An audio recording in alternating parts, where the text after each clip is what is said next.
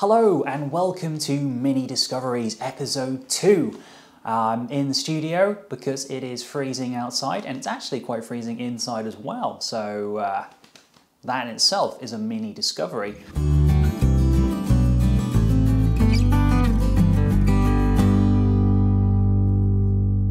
Today I'm not going to be going very far to connect to nature, I'm going to be going about 3 metres in that direction and I'm going to set up a feeding station for birds and also a single squirrel.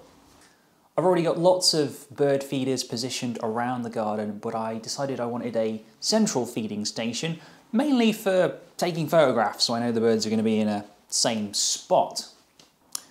As you can see, the feeding station has worked. So we've had plenty of visitors there. There are a variety of foods that you can put out for the birds that will attract all sorts of species. Black sunflower seeds are a good place to start, or if you don't want any kind of mess, just the sunflower hearts themselves. That's mainly what I use here, and they all get eaten. Niger seeds are much smaller, sort of piddly little seed. Um, they attract goldfinches and siskins, so they're worth giving a shot. You need a special Niger seed feeder though, or else they'll be so small that they'll just pour out of a standard bird seed holder. Peanuts are a great food source for birds. At the moment I've put them out just loose on the feeding station. Definitely don't do that as we move into uh, February, March, the breeding season, because then they will become a choking hazard for the chicks if they're fed.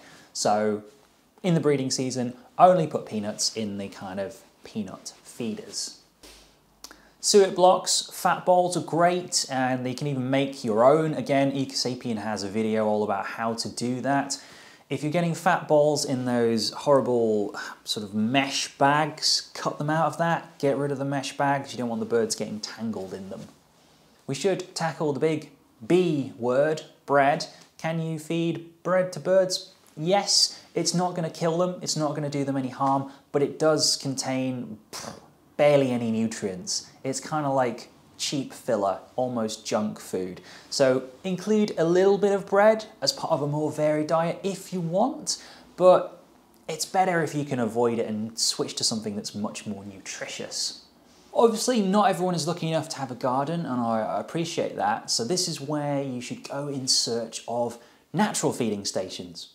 One of the best ones are fruit trees, crabapple trees. Crab apples will keep their apples well into winter and often there's blackbirds like plucking them from the trees and below there's a scattering of apples on the ground where you might have wood pigeons there. So yeah, on your socially distant walk, just take a, a slow walk past any natural feeding stations you see and yeah, appreciate what creatures are there. Tell the good people we're setting up a feeding station because soon it's the Big Garden Bird Watch. Yes, it is. Big Garden Bird Watch RSPB survey. Fine. We'll talk more about that next week.